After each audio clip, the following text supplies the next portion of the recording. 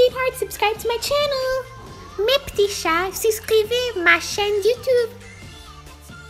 Oi, queridinha, subscreva o meu canal de YouTube.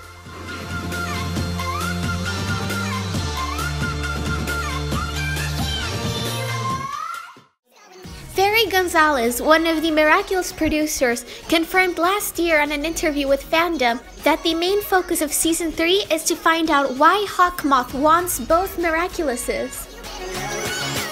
Just in the first episode of season 3, we've seen a lot of developments, so it's safe to assume that more developments will happen throughout the next episodes.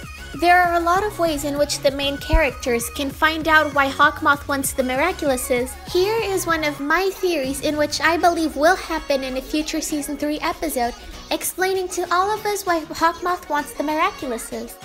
It all starts with Gabriel Agreste needing a new trainee to help him make a new creation for his latest fashion show. He had previously seen that Marinette was extremely talented, and so asked her to become his trainee, working for him every day after school. Marinette would be thrilled to be given an opportunity like this, and so she accepted Gabriel's offer. Marinette would then quickly learn new stylist tricks, showing that she would be a great trainee. But because Gabriel Agreste rarely leaves his house, Marinette would have no other choice but to work in Gabriel Agreste's house. Because Gabriel Agreste's house is very big, Marinette would most likely get lost on the first few days, accidentally finding herself in Gabriel Agreste's office.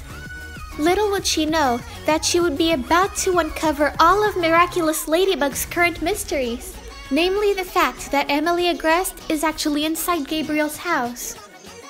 Now, Marinette alone could not stand up against Gabriel, but Ladybug could. So Ladybug confronted Gabriel Agreste and finally got the answers to all of our questions.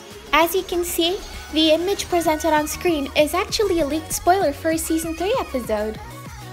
But until this happens, Marinette will spend a lot of more time with Adrien.